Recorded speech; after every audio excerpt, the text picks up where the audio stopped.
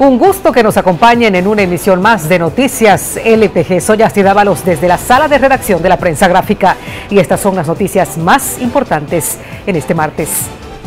Armando Eliú Melgar Díaz, un cabecilla internacional de la pandilla MS-13 que dirigía el programa de la costa este, recibió este día la instrucción formal y la detención provisional como parte del proceso en el que está siendo juzgado por los delitos de tráfico ilícito y proposición y conspiración en el delito de homicidio.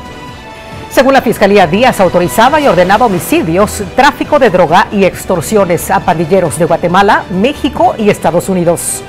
El pandillero conocido con el alias de Blue de Gangster fue capturado por parte de la operación Escudo Regional 3 que se desarrolló en el Triángulo Norte de Centroamérica y en la que también fueron detenidos otros 301 miembros de pandillas en El Salvador.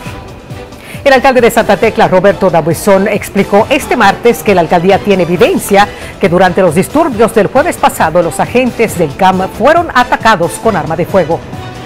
El alcalde también sostuvo que los vendedores de Santa Tecla no estaban involucrados en los disturbios porque se encontraban reunidos en una mesa de diálogo con la alcaldía. Según Dabuizón, el ataque al CAM fue planeado y todo forma parte de una campaña de desprestigio que se realiza en redes sociales. La violencia que se dio no tiene justificación, no tiene justificación que estos tipos que atacaron al CAM lo atacaran no hay forma. ¿Por qué lo tenían que, hacer si el procedimiento lo había tomado la policía?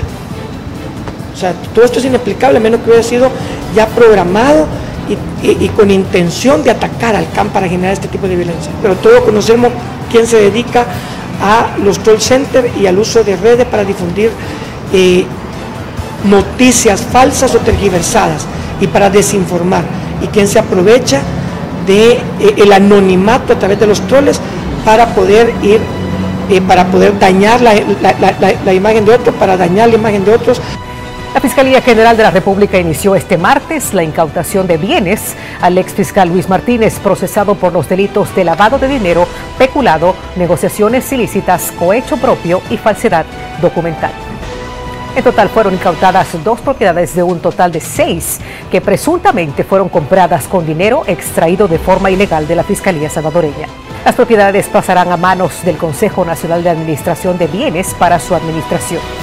Uno creo que es en las joyas de las piletas, eh, una casa de campo creo que en Comasagua, una casa en San Miguelito y una casa en la zona de Santa Elena también.